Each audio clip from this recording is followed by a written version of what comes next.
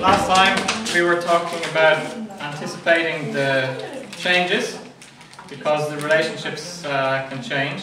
So today we're going to finish talking about anticipating the change and we're going to talk about the social contract or making correct the spirit the spirit of the deal.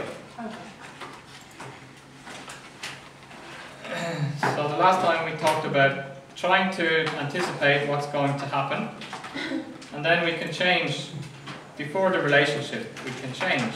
Okay, like we gave the very simple example of if Cameron Diaz gets married with a 25 year old guy she could anticipate that maybe he was just using her for his her money.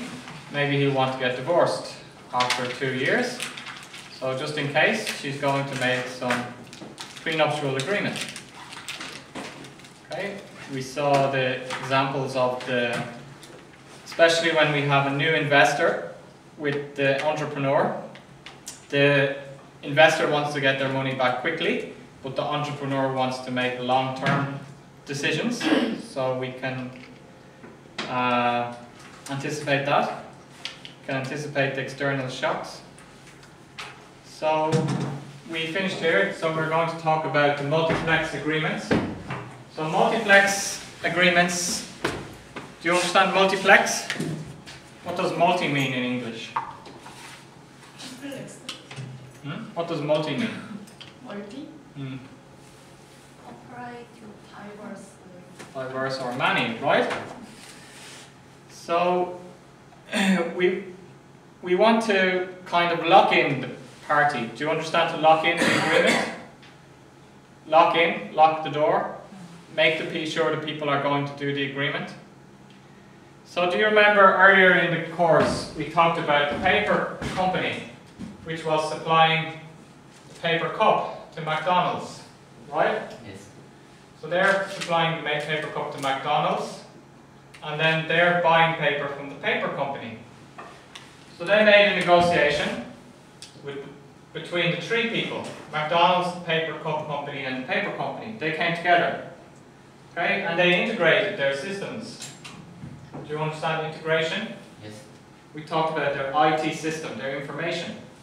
So that's kind of like multiplexing the agreement. Multiplexing means more than one. So we had the agreement with McDonald's, but now we're bringing in somebody else. The paper company is also involved in the agreement. Okay? Is it easier or harder for McDonald's to leave the agreement now? Easier for McDonald's to leave or harder for McDonald's to leave? So by multiplexing the agreement, it's making it more secure, right? Or long-lasting agreement, adding more parties, adding more issues. So we're talking about something that deepens and broadens the commitment to the deal. So we talked about commitment. Are you committed? We have deeper and broader commitment by adding more parties here. Okay? So adding more parties or adding more issues to the deal. So here's an example of a manufacturing executive. He wants to broaden the type of relationship he has. He links one customer's business to other businesses owned by his parent company. So here we have the manufacturing executive, and he has customer. Okay, customer is buying his product. Okay, but he asks the customer to buy products from other businesses owned by his parent company, right? So the customer is now buying products from the other businesses too, linked to here. Okay? He invests money in a range of joint projects. Okay, so the customer has some idea. Customer is doing their own business. Okay? I'm going to invest in the customer's business together. Okay? Uh, he, made, he introduces his customers to other people. So he, he's going to introduce the customer to another person, to a supplier. Okay? So he goes out for dinner together with the customer and the supplier. Okay? Do you understand? Introduce them. Alright? So by doing all of these arrangements, is this customer going to leave me if they get a better price from somewhere else? Or stay with me? What do you think?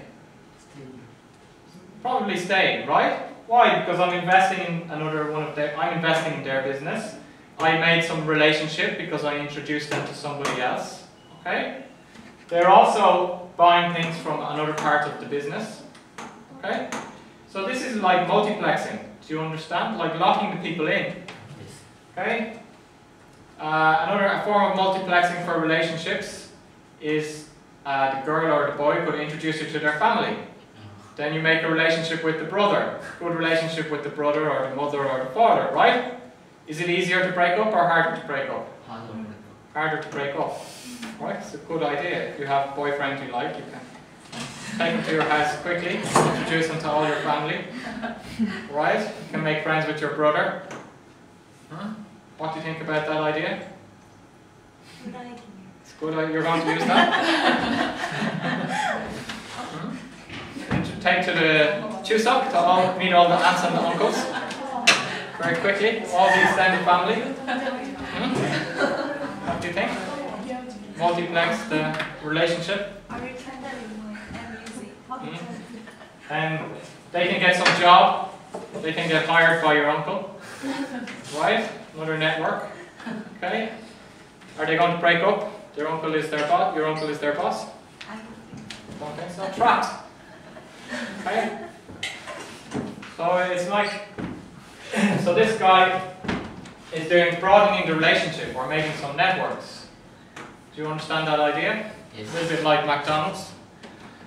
So this means that we can predict that there could be some problem. Maybe the customer can find a cheaper product somewhere else, that cheaper than my product. Okay? So that's that's a clear possibility. Another company will make a better or cheaper product. Okay?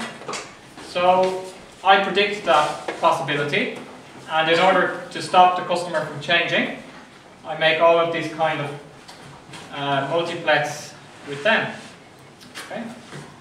So then the next point is to make the insecure contract secure. So we talked about the insecure contract. Insecure contract, your mother tells you you can get a dog as a pet if you do the solid solid E, right? But that's insecure for your mother. She's going to buy you the dog now, and then later you're going to do the uh, solgoji, right? The washing up. But how can your mother be sure you're going to? You could just say no later. That's called an insecure contract. Do you understand insecure contract? Hmm? You give something up front to the other person, and then you're depending on them to do something later. Okay, so we saw another insecure contract was the entrepreneur and the investor, the doctors and the investor. Right? The investor introduced the doctor to the publishing, uh, CD publishing company. Right? Then the doctors don't need the investor anymore. That's an insecure contract. Okay? So we have to try and make them more secure. So we're talking about costly to reverse moves by one side that give the other side an opportunity and even an incentive to terminate or favourably renegotiate the deal. So we need to make a costly to reverse move. So, yes? What, uh, if it is insecure, why do they contract each other with each other? Because they have to. So, for example, one of my friends, he's a coach in sports. He was in Ireland and he recently did a good job coaching the Chinese sprinters on the relay team. So they offered him a contract in China, right? So he asked me about that and they offered him a lot of money to go to China and coach their athletes in one area of China, right? So first he, he can, he can, they made a contract negotiation with him and he asked me about that. So for example, they had some big punishment if he leaves China after two months or three months. He has to pay them two months' salaries. He has to pay for his flight, all of those things, right? Why? Because company is afraid that he'll just go to China, he doesn't like it, and just go home, right? Do you understand? Because in that case, it was an insecure contract for the Chinese people. They have to pay for his flight. They have to spend a lot of time to organize the apartment and do all the things for him, right? Uh, they have to uh, introduce him to all the athletes, right? They're high level athletes, so it doesn't look good if he just arrives and then leaves again. It's not good for their organization, right? So that's an insecure contract for them. So how can they make sure that my friend doesn't just arrive and leave after one month because he doesn't like China? Hmm? What do they need to do? If you're the Chinese company, what are you going to do? Like you said. That kind of thing, right? Some costly to reverse thing. Something that will be very costly for him if he has to leave. Okay? Is that fair? Do you think that's fair? He was worried about those kind of things. Also, he has to give very long notice to them if he wants to leave. He has to give them like, if he leaves in the first year, he gets more also some punishment if he leaves in the first year, right? That kind of thing. So anyway, they have to think about the relationship too, right? Because I told my friend he has to think about it seriously because it's not fair if he goes to China and then just leaves the next month. It's not fair for them, right? Because the thing is, we're going to talk later about the social contract. Even though they wrote down that my friend has to give three months notice and he has to pay the airfare and all of those things, it doesn't really matter. Anyway, my friend could just wait until he gets his salary and then he could just leave. Do you understand? So even though that's written in the contract, maybe they can't enforce it. Okay? He doesn't like China. He just one month he waits until he gets paid his salary, doesn't say anything to anybody, no notice, and just flies back to Ireland. Okay? Some ESL teachers do that in Korea. It's called a midnight run. because in Korea the Hagwon makes that kind of thing too, right? When they hire the teacher, they have to pay back the airplane ticket and they have to pay for the Hagwon. What are you going to do? Be honest and say, oh, I feel homesick, so I'm leaving. So here, take the here's the airplane ticket price, and here don't give me any salary for the next two months. Or are you just going to wait and get your salary and don't tell them anything and then just buy your own flight and go back? Which are you going to do? If you're working in the Hagwon. Did you understand the question? Yes. Which are you going to do? Are you going to do midnight run? Or be honest, tell the company and pay them all the money? Midnight run. Midnight run, right?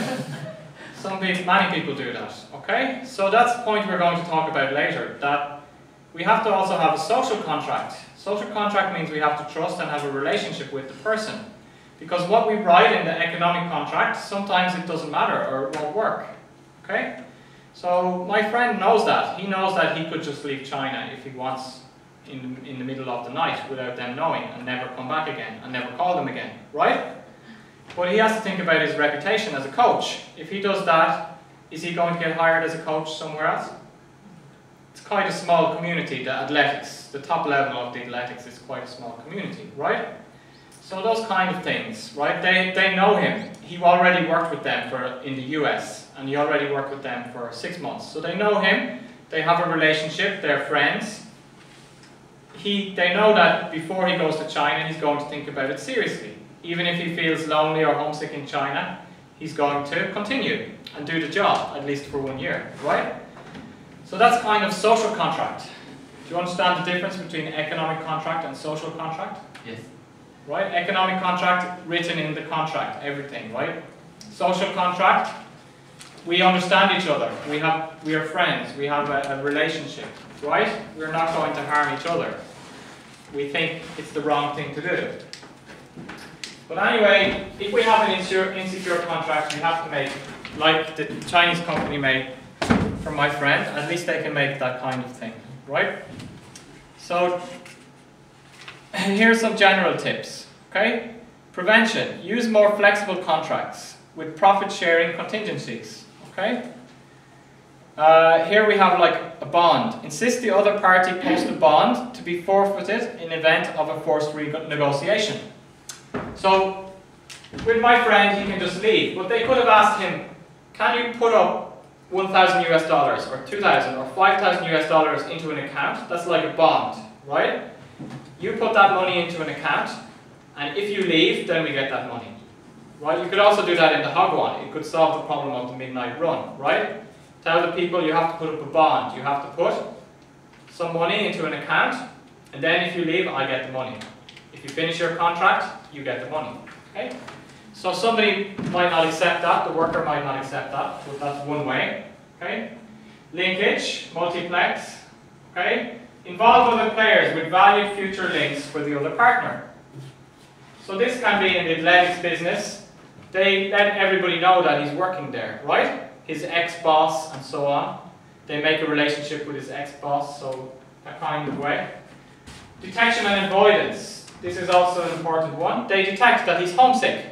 He's not. He's feeling homesick, right? So what can you do if your employee is feeling homesick, or that you can see that some problem is starting? What are you going to do? Give a vacation. Give a vacation. Anything else?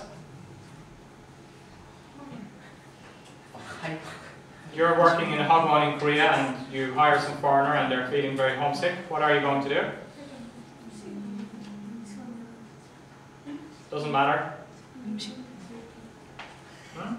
Take them out, right? Take them out for dinner. Introduce them to some people. Help them to find a club, local club. Okay? Try to introduce them to some other foreigners.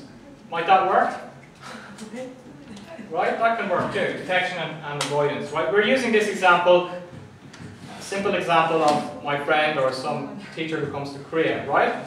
But this we can use also for the companies. We have to try and detect uh, if there's going to be, keep an eye out and detect if there's going to be that problem and try to avoid it. Okay? So here's a question. Your company spends a good deal of time and money training a few important employees in skills with a very high market value. This is a common problem for companies, right? I train, you join my company, I train you to be a investor, right? Investing in the stock market. So you have some very good skills now about high market value. You learned the skills from me, right? What if you just leave and even take the key clients?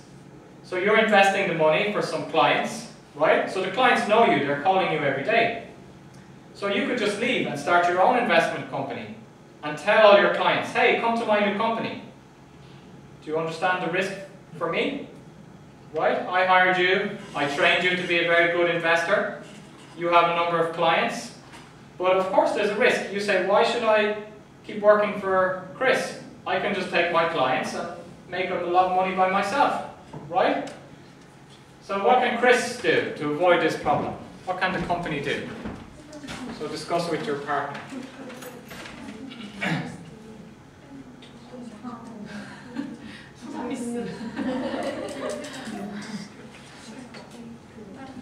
When I was in Korea in 2001, this happened. I was working in the Hagwon in 2001 for one year. One of the Korean Hagwon workers, she started her own Hagwon just down the road. And she took the list of the phone numbers of all the students' parents and she called all the parents and asked them to come to her Hagwon. And some of the students liked her because she was a teacher in the Hagwon. So a lot, some of the students left and went to her new Hagwon, right? Isn't it illegal? Hmm? Isn't it illegal What isn't what illegal? to uh, take the information? Yes, I think she should. She couldn't take the list of all the parents' names and phone numbers, but they couldn't prove that she got that. Just they were suspicious that she got that some way. They had no proof, right? So again, it might be illegal, but how can you find the proof in a practical way? Okay, so discuss how are you going to stop this from happen, happening. Mm-hmm.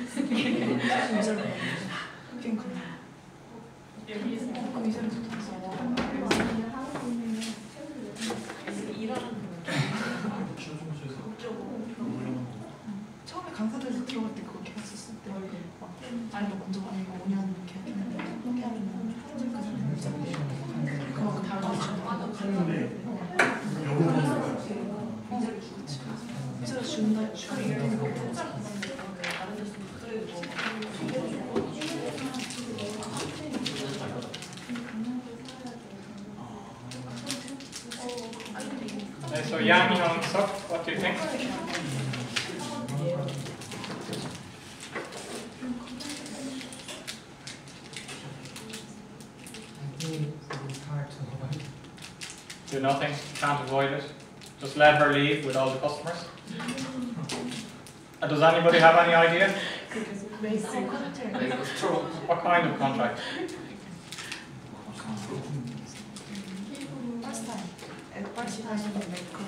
What do you mean? For example,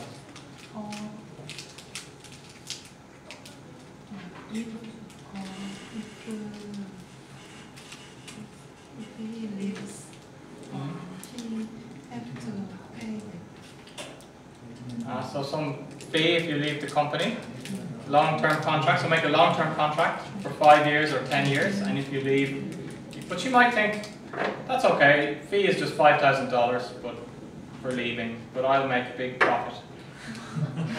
Much bigger profit. Hmm? It's one idea. Does anyone have another idea?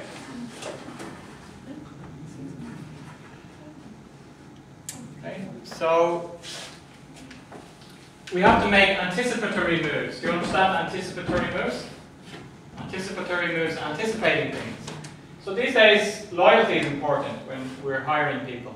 If on your CV it shows that you're moving from company every year, one year this company, one year that company, one year this company, right? Companies don't like that because it means that you're very likely to leave, just leave, right? So uh, companies might ask you what's your future plan in the interview, right? So one of my friends, he made a joke, right? He was just he came back to Ireland from another country. He had worked in different places, and he said they often asked him in the interview, uh, "What's your long-term plan with this company?" Right? And he was saying his answer could be, "Oh, it depends how I feel. Any day I could just decide to leave." right? I could just up and leave any day if I don't feel good in the company. Are you going to say that? No. What are you going to say about your long-term plan in the company? Are you going to say, well, I'm only planning to work here just for two years until I find a better company. I get some experience and find a better company. Hmm? Are you going to say that in the interview? No. What are you going to say? I want to remain. Forever. Yes. right? I want to stay at least, not forever, but at least 10 years, right? I want to work up in the company, that kind of thing, right?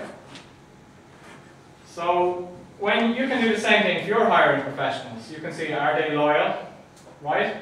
Use teams rather than individuals in dealing with clients. Okay, so she was just by herself dealing with the clients. So I can rotate every six months, change. You deal with the clients. You then you deal with the clients, right? Or just make a team. All of you three guys are dealing with the clients, so it changes between you. Okay? Rotate the job, change your job now and again. Okay?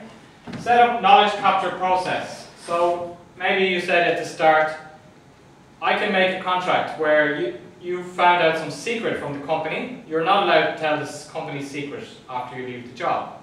Okay? Do you understand? So I gave you the training and taught you our secret about, we have some secret for investing.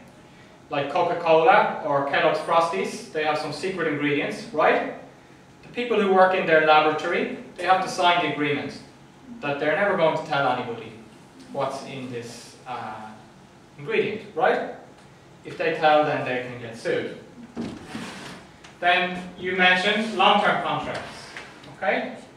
And benefits over time. So my brother works for a company, and they sell him the stock in the company. They give him stock option in the com company. Do you understand stock option? Yes. And it means that that's kind of benefit related to the company. Company does well, I own part of the company, I feel like I'm more involved in the company, right? So I can get some payment in stock or stock options instead of money. Okay? Makes me more likely to stay in the in the company. Okay? Usually. So for a lot of companies do that, especially in the US. So Facebook, there was some Irish person who was at the start of Facebook, working in Facebook, and they paid them in stock of the company. Even though it wasn't a public stock, it was just private stock. So when Facebook went, got, went public, that person made like $2 million from their stock. They were just a normal worker, right? But they were getting paid in stock.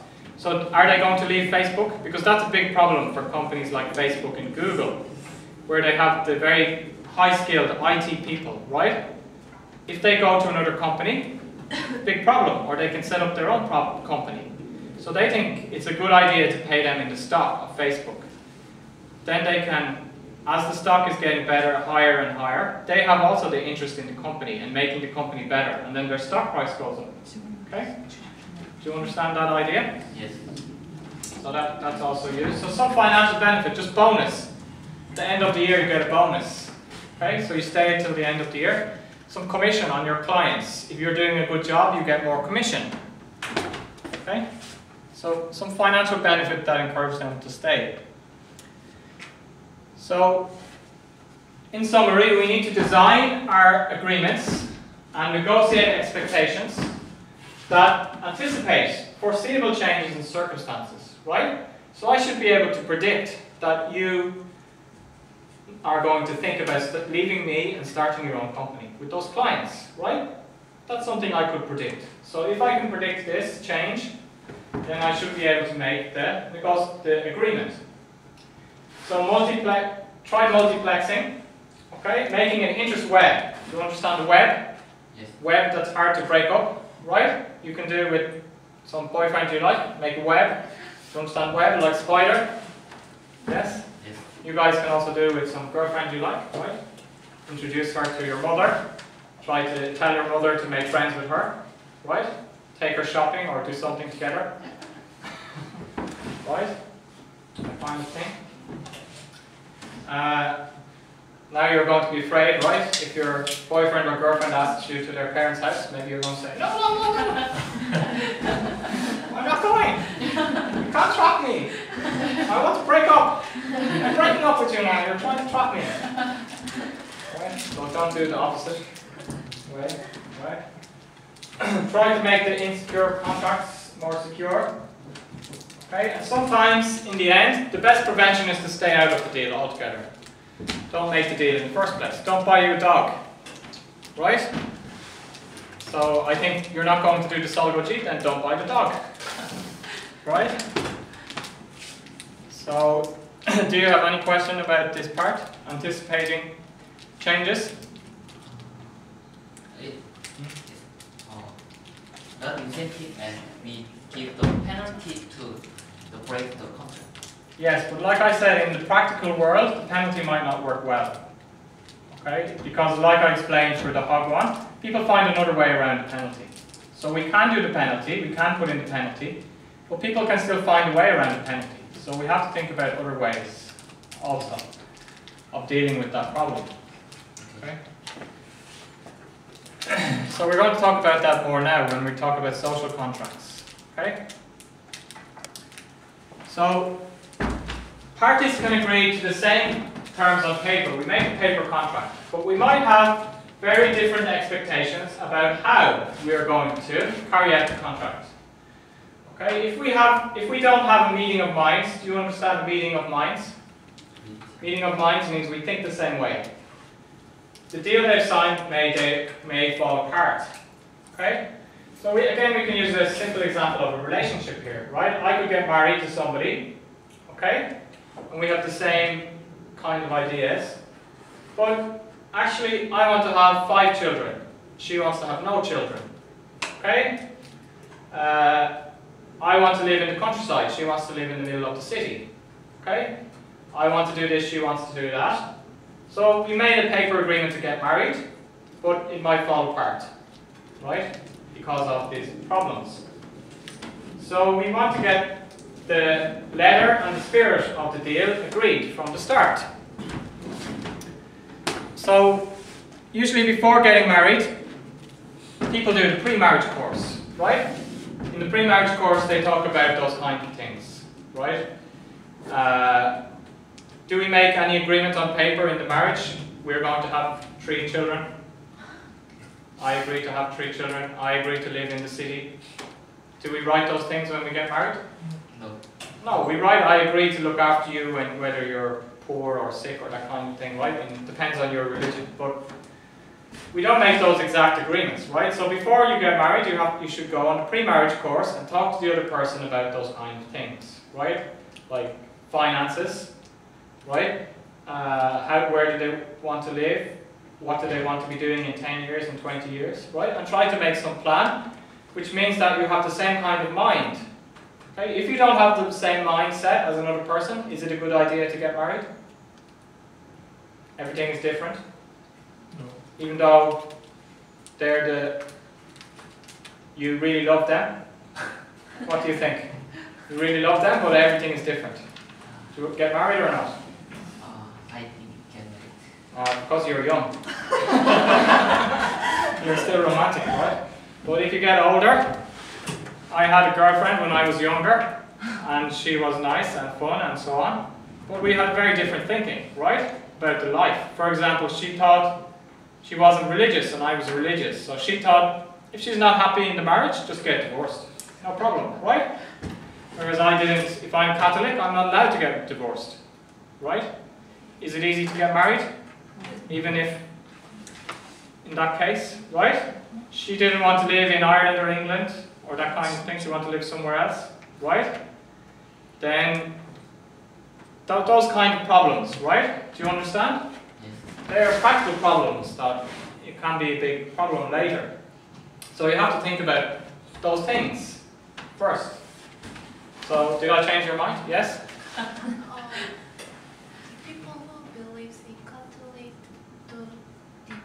Yes. Ever? Just in some special case, like the other person was uh, had some mental problem, and they you didn't meet them until the wedding day. Used to happen a few hundred years ago, right? That kind of thing. Right? You can get an annulment. Annulment means you can annul the marriage if the other person told you lies before the marriage. That that kind of thing. You can get an annulment. That's why we have that was the first main split in the Catholic Church because the King of England wanted to divorce his wife, but the Pope said no. So the king wanted to get an annulment. He made some silly excuse to get an annulment from his wife, but the Pope said no. So the king in England said, "Okay, I'm making my own church." then he killed, he executed four of his wives. It's easier than getting divorced, right? He was a bit crazy. King Henry. Maybe you'll see on the TV, there's a TV show about King Henry, the Tudors, right? Yes. So, uh, in the Protestant church, depends on the church, but divorce is okay. But in the Catholic church, it's not, right? So in Ireland, some people get separated. It means just they live in another house. They live separately from each other but they can't marry again. Can't marry another person. Right? So uh, this term social contract has many different meanings depending on what we're talking about. Okay, but in this case, we're talking about the expectations held by the negotiation people about their agreement. Right? What ex- we made an agreement, what expectations do we have? Do we have the same expectations or different expectations? So we have two types of social contract. Underlying social contract, this asks the question what? What is the real nature and duration of our agreement? The ongoing social contract answers how? How will we make decisions? How will we handle unforeseen events? Communicate, resolve disputes, right? So you're going to have to talk about this before you get married. How if how will we deal with children if we have some problem? What are we going to do? Are we going to get divorced or go to counselling? Right? How can we make decisions? Okay, so it's the same for a company.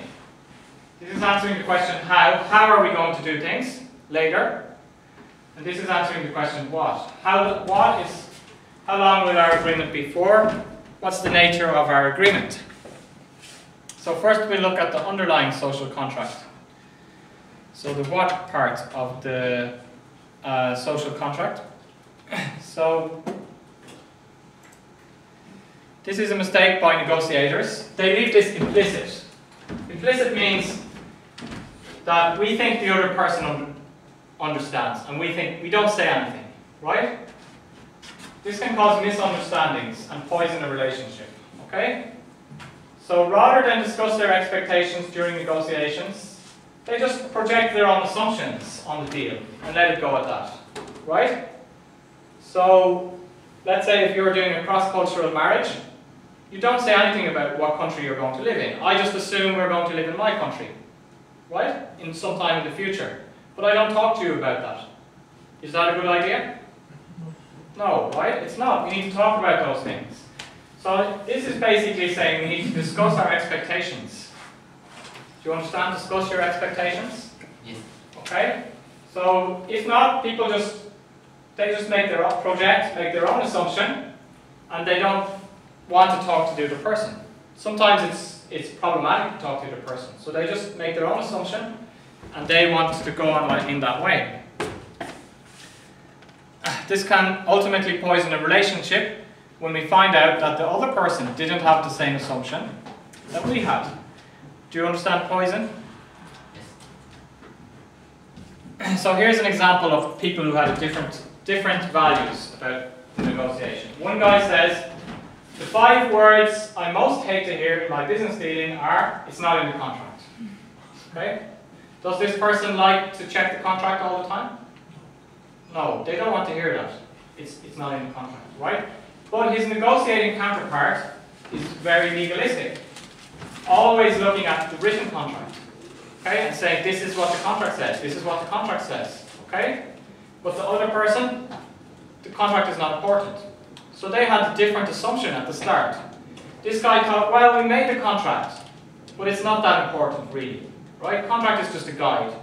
But this person thinks, no, the contract, we have to do exactly what the contract says every time. Okay? So are those two people going to have a problem? Yes, they are, right?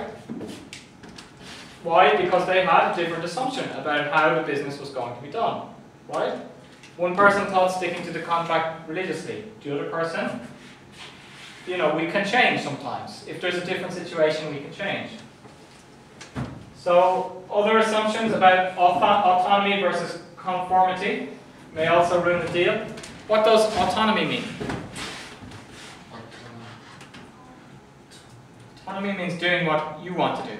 What does conformity mean?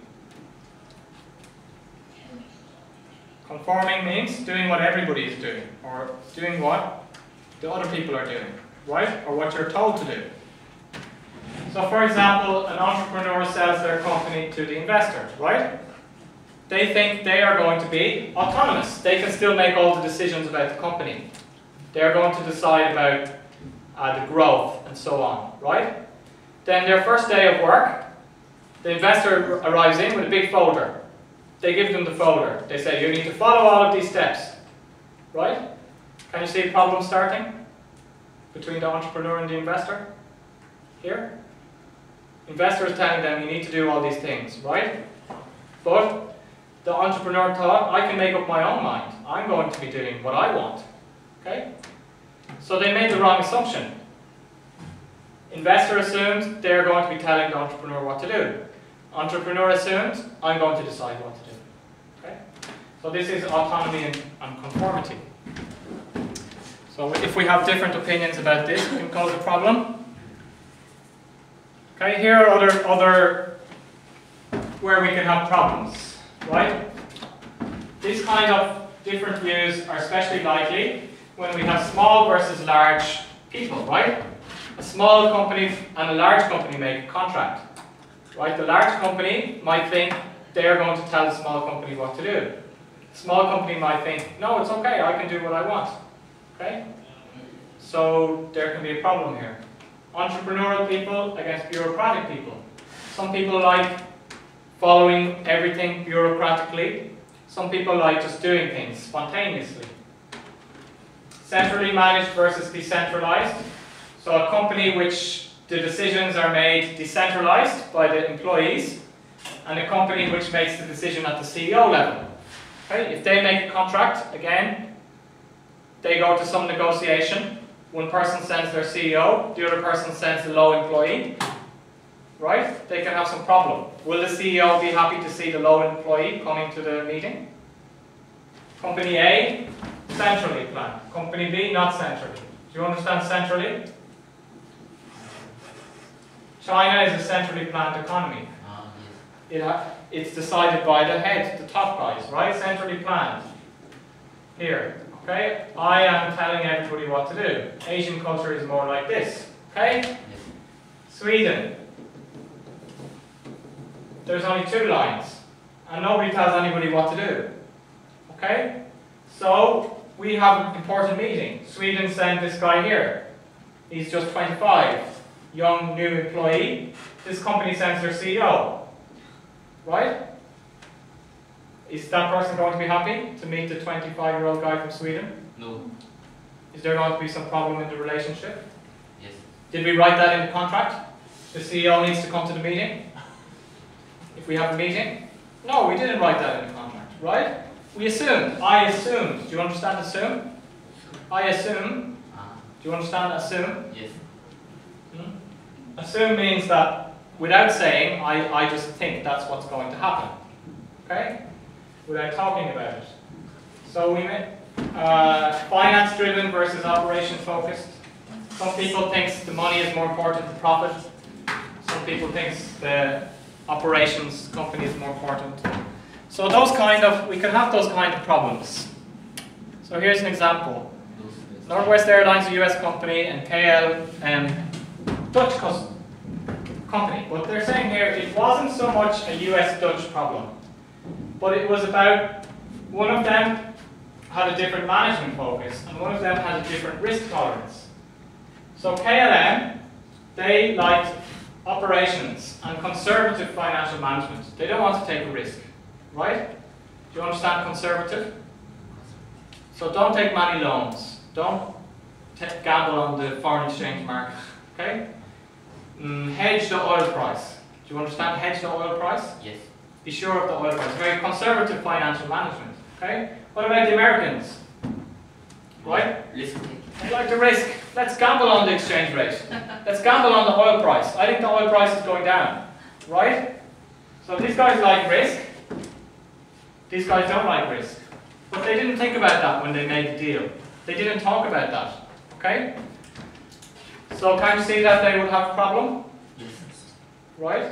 So they did have a problem. They couldn't get on together because of their different values. Do you understand different values? Yes. Different ideas? Different personalities? Yes? Uh, in America, uh, when they make a decision and the result is bad, Yes? and the person who takes charge in the project or something um, has responsibility Yes? according to the result. Yes? Design. Yes. Person takes responsibility. But they, in the US, they said this is not so much a US Dutch clash, but also US culture, they're more risk taking, right?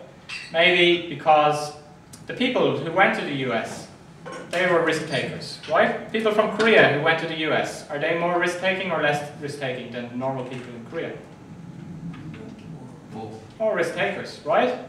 They, they go to the US to make a new life and they take a big risk, right? They don't have any family or contacts there. So just culturally, US people are more okay with risk, okay? But other countries not as much.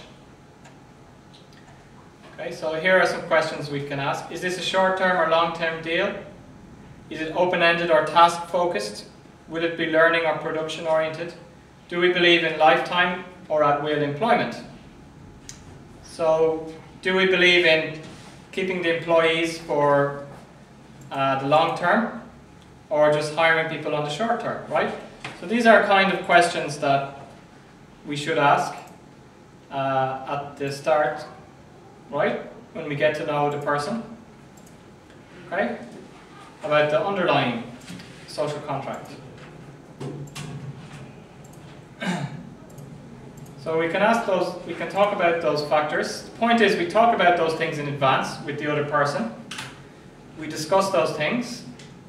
Uh, then we can, if we discuss those things early, we can avoid having the difficulty later, right? Can you believe that Northwest Airlines and Royal Dutch, who are two very big companies, didn't think about this problem? when they negotiated the agreement and wrote all of the agreement, right? Took a lot of time, but they didn't think about this big problem, okay? That the owners, the presidents, the CEOs of the companies was very different and had very different ideas, right? Can you believe they didn't think about that problem? And then they failed because of that, right? So companies do make mistakes in the real life. They say this is a common mistake. They focus too much on the economic contract. Do you understand economic contract? Just the price and this and that, okay? And then they don't focus enough on the social contract. Do they have the same ideas? Do they have the same values? So one thing which can help with this is making a pilot, pilot program. Have you ever heard of pilot program? Hmm? Pilot program means just testing. It's not a joint venture. A pilot is just, uh, we just do this just to test. So we can make a pilot, some pilot program together, maybe like Mazda and Ford. We do some small agreements together, and we don't make a new legal top contract. We do like a trial period. Do you understand trial period? So some people, when they're getting married, they do dunga, living together.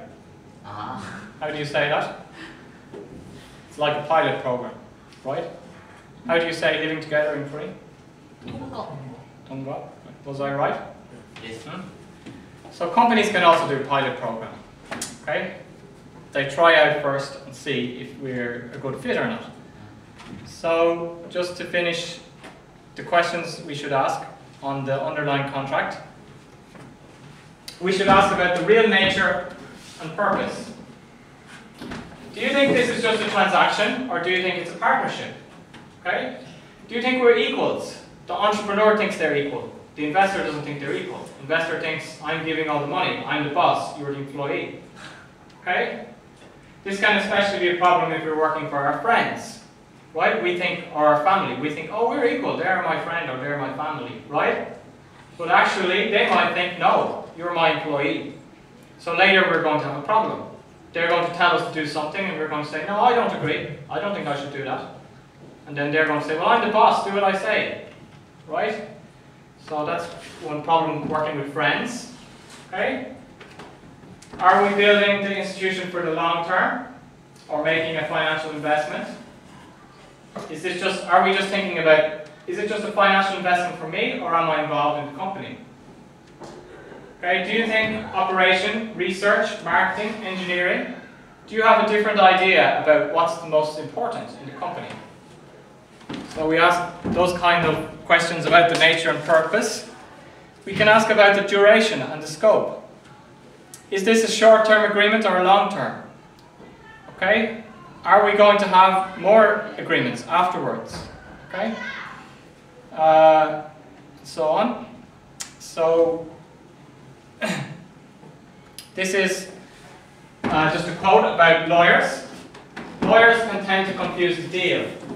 The working understanding between two parties with the contract. The written words that attempt to capture the understanding at a point in time. So lawyers are focusing a lot on the written words on the contract, right? This is the law. This is what you have to do. So words are good for capturing some things, like the rules of chess. Do you play chess? Yes. So it's easy to write the rules of, rules of chess and understand rules of chess. You can move this piece, this, and places, right? Yes. But it's not for good, good for some things. How to ride a bicycle. If you just read about how to ride a bicycle, are you able to ride a bicycle? Experience practice practice You need the experience and practical of riding a bicycle before you know how to ride a bicycle. Okay, so the words can't do everything. Okay, so what makes the deal work are not the written words, but the personal relationships between the individuals charged with making them work better. Okay, so we write the words, but the words is not everything. We also need something else, the personal relationships. So lawyers can overemphasize the, the words. So do you have any question about this part, the underlying contract? no. No? Okay, so then let's uh, take a break for 10 minutes. Who needs, uh, who needs the page from the negotiation that we were doing the last time? Who needs a photocopy, new photocopy of the